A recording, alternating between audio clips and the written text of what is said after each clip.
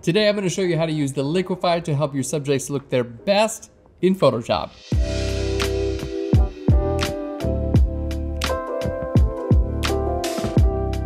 Hello and welcome to Phlearn. My name is Aaron Nace and today we're showing you how to use the Liquify tool, which basically is a tool that allows you to push and pull pixels around on your images. And there are so many wonderful uses of this tool. Now, my personal favorite is for things like hair and clothing. Sometimes you just have some wrinkles, you wanna smooth those out. Honestly, it can make a huge difference. We're also gonna show you how to use the new Face Aware Liquify, which will allow you to change facial expressions of your subjects. I would say use this with extreme caution, not something that I do personally, but I did wanna show you how to use it. And then finally, a note on usage here. This tool has been used to change body shape in the past. These days, it's not really used to do that so much. Obviously, that's gonna be between you and your subject and your client. That's a discussion you can have, but I would recommend keeping that to the minimum and love people for who they are. Let's go ahead and jump in and show you how to use the Liquify tool. So we're starting off with this image and you can see our subject just has a lot of like kind of wrinkles and things like that in his clothing. And this is extremely common. We see this all the time and the Liquify tool is perfect for this. So what we're gonna do, let's go to our background layer and convert this to a smart object. So we're gonna go to filter and we're gonna go to convert to smart filters. There we go. Now you can see we have a smart object icon. That way I can change this liquify at any time. Let's go ahead and jump in. So we're gonna go to filter and then down here to where it says liquify. Fantastic. And we have a whole new liquify dialog. Let's go ahead and hit controller command plus a couple times to zoom in. Now we have a lot of different tools here on the left. We're gonna go over a few of these, but most of these honestly aren't really used that much. This top tool is called the forward warp tool, and that's the tool we use most often. So we're gonna show you mostly how to use that tool. So let's go to our forward warp tool. Now with this tool, you're gonna wanna make sure you open up your brush tool options where you can change the size of your brush, the pressure, which is going to be how much it's going to push and pull these pixels around, the density, which will be all the way towards the edge of the brush or just for the center, and the rate as well, which determines how much it's actually going to, again, push and pull those pixels. So we're just going to keep our pressure right about the center, and then the density, I like to keep that a little bit lower. Now, basically you have a cursor. So if I click and pull and drag in any one of these areas, you can see literally I'm just pulling in pixels over and over and over again. I can make whatever shape I want. And as you can imagine, you can do some damage here. So let's go to our next tool right down on the list. This is our brush reconstruct tool, super powerful. Let's go ahead and click there. And then all you have to do is, you can use your open and close brackets to change your brush size. All you have to do is simply paint over that area and it's like a undo that you can paint. So if you think you did something a little bit too strong, then you're gonna be using your brush reconstruct. So let's go ahead and go back to our forward warp tool. Now, what we wanna do, let's go ahead and zoom in. I wanna kind of smooth this out a little bit. It's just a little distracting. So the big key here, the big key is you wanna make sure that your brush size is about the size of the area you wanna move. So if I wanna go ahead and take care of some of these smaller little hills and valleys, I'm gonna use the open and close brackets on my keyboard to make my brush a little smaller, okay? And then we're just gonna kind of push these down, make this a little bit smaller, and then push that up and push that down. So you can see we're making the brush about the size of the object we actually want to go ahead and move around. And this is gonna give us a lot more control on a fine level. And then if you wanna do something a little bit of a larger control, you can do that simply by making your brush a little bit bigger. So it really is one of those tools where changing your brush size frequently and often makes a lot of sense. So we're starting off by simply kind of like smoothing out all of these wrinkles here in our subject's clothing. There we go. And then once these are a little bit more smooth from like this level here, perfect, that's looking a little good. We're gonna make our brush a little bit larger and then we're gonna just go ahead and smooth out the overall shape of our subject's clothing. There we go. And just kind of bring that right back together. And as you can see, that's already starting to look much, much better. And of course I could make that perfectly smooth if I wanted to, literally just making my brush really nice and small and going in and doing all this little detail work. Really nice and easy. Just make sure you make your brush larger and smaller and you can really do a good job with that. Let's go ahead and zoom out and show you uh, this other area on our subject. I'm gonna hold the space bar and move over here. This looks like just a natural feature of our subject sweater, but again, I can just make my brush a little bit larger and we can kind of minimize that just a little bit. There we go. Now you're noticing this is just gonna, it's not specifically targeting our subject shirt. This is actually moving the pixels of the background a little bit too. So if you find yourself in a situation where you have a complicated background that you might need to kind of rebuild, you can use content aware fill or of course you can use generative fill with AI to do that as well. Now here, let's go ahead, maybe this shirt just sags down a little bit. Let's go ahead and make this a little bit more form-fitting and we're gonna do this. Now, again, I'm just gonna personally say this, you can use these tools however you want. My job is to teach you how to use all these wonderful tools in Photoshop. I think that, you know, working with clothing is a great way to use the Liquify tool because, you know, clothing fits in different places. And this is not changing, my goal is not to change your subject's body, simply the fit of the clothing. That's what we're kind of working on. And we can see it's gonna make a big impact on this image. Okay, there we go. Let's kind of just bring this out and just, you know, get clean up some of these lines. That's basically our goal here. And, you know, you can still have some fabric that's kind of coming in and out. It's going to make it a little bit more believable, but we're just kind of cleaning up these lines. And again, all this is with my forward warp tool. Now I have this pocket that's sticking out a little bit here. So for that, for instance, let's go ahead and zoom in, Controller Command Plus. I wouldn't want to just take this pocket and then push it up like that because look at what's happening to this background, right? So what we would want to do is make our brush a little smaller and then push kind of straight in the direction of the background so we maintain that line in the background as well. That's one of the big giveaways that you've used the Liquify tool is that you're going to start to warp around and make your background have a warp as well. And that's something we want to avoid. All right, we're almost done. Let's go ahead and zoom out here and you can see I'm going to take care of this arm as well. And then in just a second here, we're going to show you my favorite tool of all these Liquify tool options. There we go.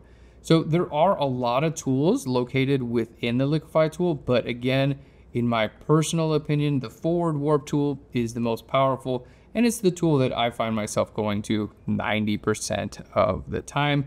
And if you really learn to master this, the only real thing you need to do is just remember, always make your brush a larger and smaller. If you're working with a smaller area, make your brush smaller. If you want to work in a large area, make your brush larger. And if you stick to that, you're going to be a Liquify Tool Pro. All right, now we don't have to make it perfectly smooth, but that's already looking great. So you can see our subject's clothing looks really nice, a lot cleaner.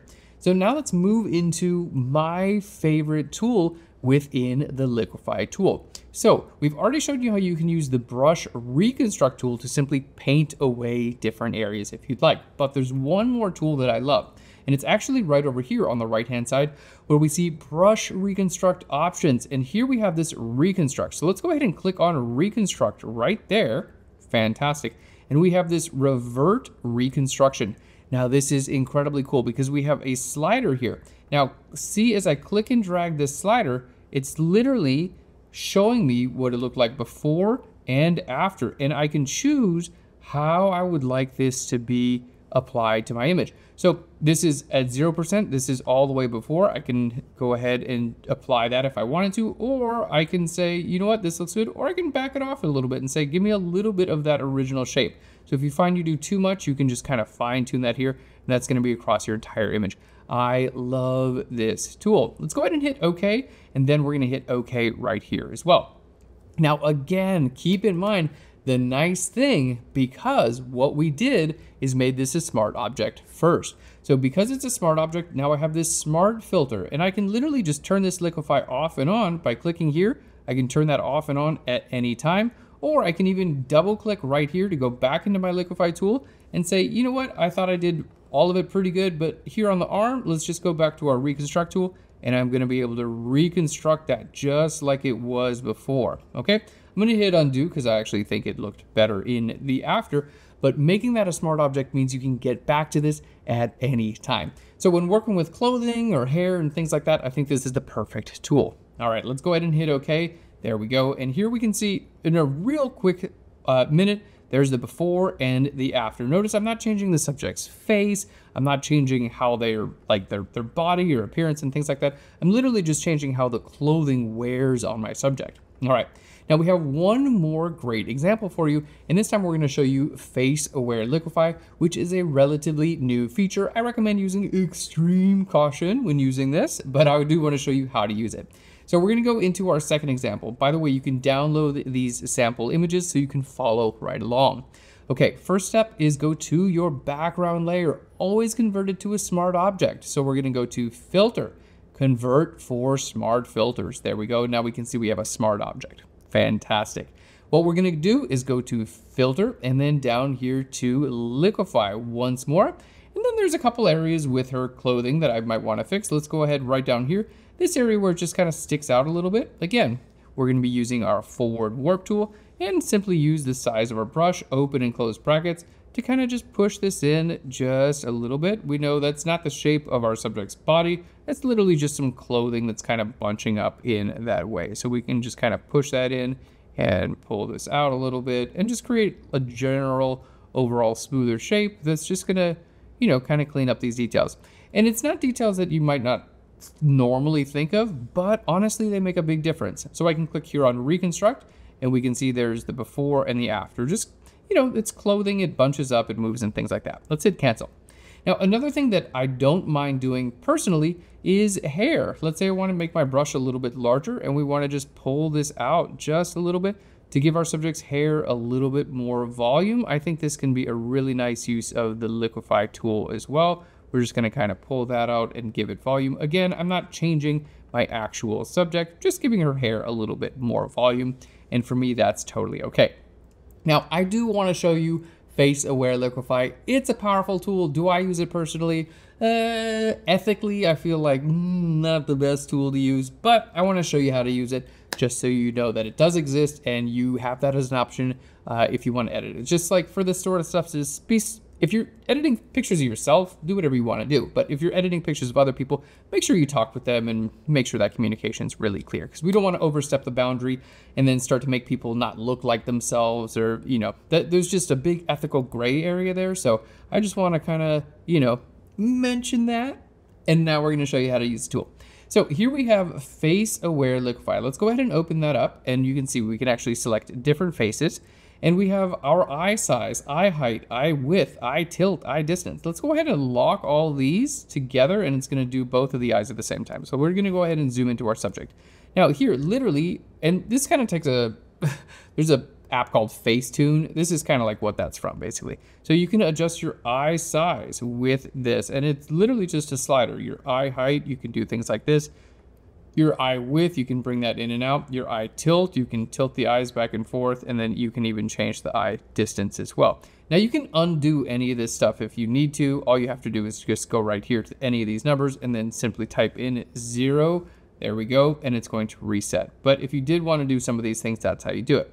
Now you also have options for your nose. So you could adjust your nose height, you could adjust your nose width, okay?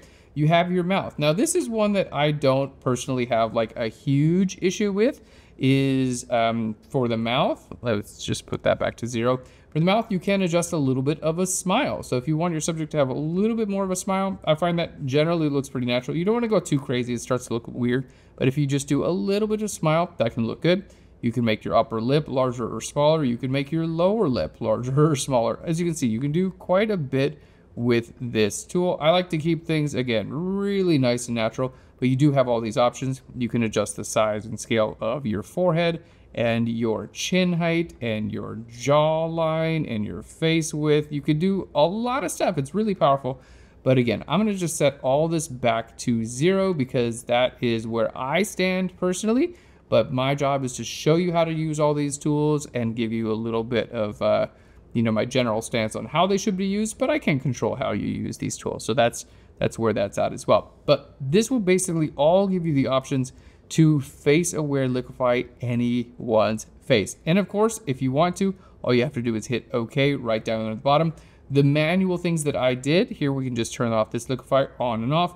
I just did a little bit here with her uh, clothing, and then I made her hair just like a little bit, I kind of fixed the shape of her hair. Now, let's say we did do uh, something and we needed to do a little bit of like cleanup in the background. So I'll give you one more example of how you can use like uh, content aware fill, or you can use generative fill using AI. So let's go ahead. We're going to double click back here on Liquify. And for this one, let's go ahead and zoom in a little bit there. Let's just say we wanted to bring her hair up and out there just a little bit, okay? We wanted to do something like that, and everyone's gonna pretend that looks good, except we have this in the background, okay? Now, what I would recommend do is just hit okay there, and then we're just going to hit L for our lasso, or I love the selection brush tool. This is where we're just gonna wanna make a selection right over here, and then, boop, we're just gonna hit generative fill and then have that generate basically back to the original shape. So if you do get into an issue where you do have to move your subject around a little bit and it does affect your background, you can use generative fill to fix the background once again. And there you can see it went ahead and reapplied and just straightened out that background for me. And of course here in my variations, I have a few different options of what that might look like. That one looks pretty good. So I was still able, if we go ahead and see, there's the before with the liquify. You can see I just kind of brought my subject's hair up a little bit. I just did that as a point to show you, but let's just say we did wind up doing something with, with the liquify that affected our background. Simply select that area, use generative fill, and it'll fix it for you. So that's how to conquer one of the most common difficulties with the liquify tool is like, how do I adjust my subject but not affect the background? Just go ahead and affect the background, make a selection around it, generative fill, and you're good to go. Thanks so much for watching today's video. I hope you enjoyed it. Give us a big thumbs up if you did, and let me know in a comment right down below what you'd like to learn next. If you want to learn even more advanced Photoshop, we got over 10 years of tutorials available for you in Phlearn Pro, and we got an exclusive discount for you right down below. Thanks so much. I'll Phlearn you later. Bye, everyone.